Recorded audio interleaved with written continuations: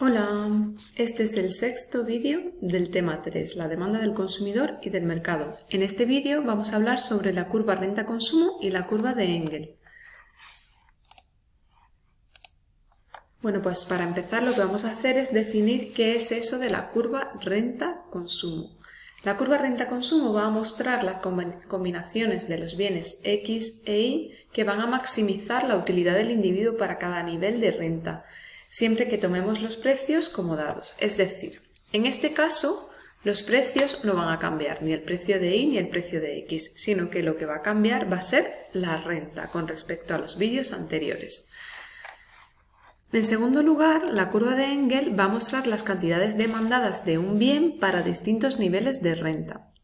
Y para el bien X estaría representada por la función X, que depende del precio de X, del precio de Y y de la renta.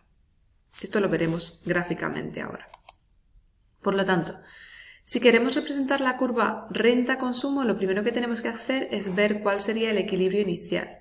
Nuestro equilibrio inicial estaría representado por el punto de tangencia entre la restricción presupuestaria y la curva de indiferencia. Si nos fijamos, esta curva de indiferencia muestra preferencias de tipo Cobb-Douglas, que serían las primeras que solemos representar.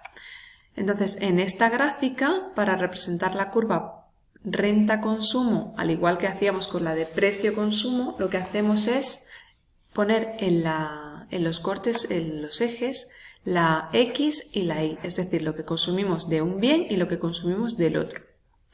Entonces, nuestra primera cesta o nuestro primer equilibrio será este, aquel en donde tengamos un punto de tangencia entre la curva de indiferencia y la restricción presupuestaria.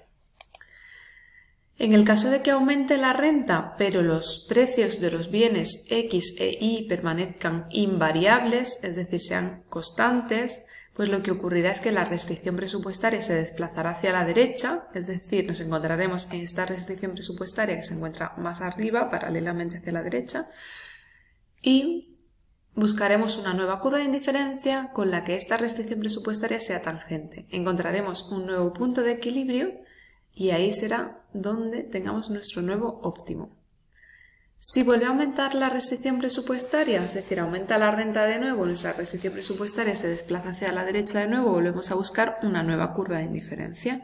Y la unión de todos estos puntos de equilibrio de estas elecciones óptimas sería lo que se denomina curva renta-consumo, porque expresa cómo varía el consumo cuando ha variado la renta, siempre que el resto de variables tales como los precios en este caso, permanezcan constantes. Ahora veamos cómo se representaría la curva de Engel, en este caso en el que tenemos preferencias de bienes tipo Cobb-Douglas.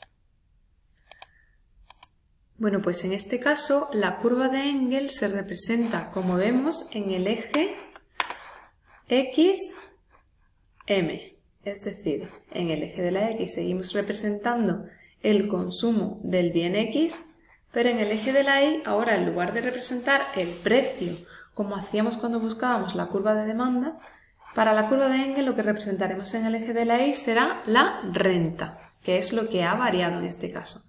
Por lo tanto, partimos de una renta inicial, que era la más baja, donde consumíamos X1 unidades de X.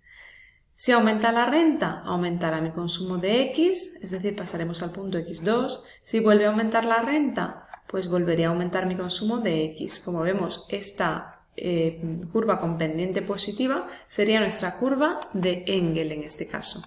Esto ocurre cuando hablamos de bienes normales. Los bienes normales son aquellos bienes para los cuales cuando aumenta la renta, aumenta mi consumo de estos bienes. Pero tendremos también otro tipo de bienes distintos que vamos a estudiar en esta asignatura, que serán los bienes inferiores. En el caso de los bienes inferiores ocurriría en un principio lo mismo. Puede ser que conforme aumentemos la renta vaya aumentando mi consumo. En este caso sería pues, el consumo del bien X, ¿no? Como vemos va aumentando. Pero llegado un determinado momento, si sigue aumentando mi renta, puede ser que yo decida disminuir mi consumo de este bien. ¿Por qué? Pues porque se trata de un bien inferior. En clase hemos puesto el ejemplo de la comida rápida. Yo dejaré de consumir comida rápida si aumenta mi renta a partir de cierto punto y preferiré consumir otro tipo de comida, irme a un restaurante que sea más caro, en el que pueda comer más tranquilamente o en el que me sirvan de otra manera, en el que la comida tenga una calidad superior, etcétera, etcétera. Es decir, conforme va aumentando mi renta, puede ser que yo decida dejar de consumir determinados bienes y aquellos bienes que dejo de consumir se consideran bienes inferiores. Eso ocurre en esta gráfica, es decir, cuando paso de la segunda restricción presupuestaria a la tercera, como veis, aumenta mi renta, pero yo reduzco mi consumo de X. Es decir, X3 sería menor que X2. Si eso lo expreso en la curva renta-consumo, como veis, varía la pendiente, pasa de ser más o menos positiva o al menos horizontal a ser directamente una pendiente decreciente ¿no? o negativa. Vamos a ver qué es lo que ocurriría en la curva de Engel.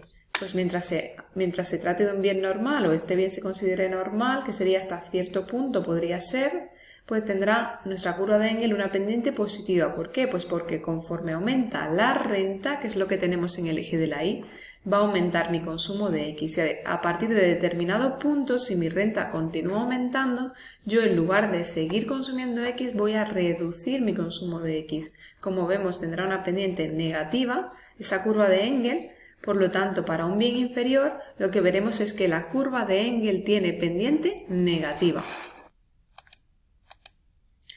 En resumen, si cuando aumentamos la renta aumenta la cantidad demandada del bien, vamos a estar ante un bien normal. Pero si al aumentar la renta disminuye la cantidad demandada del bien, estaremos ante un bien inferior. Y eso es todo por el momento. Nos vemos en el siguiente vídeo.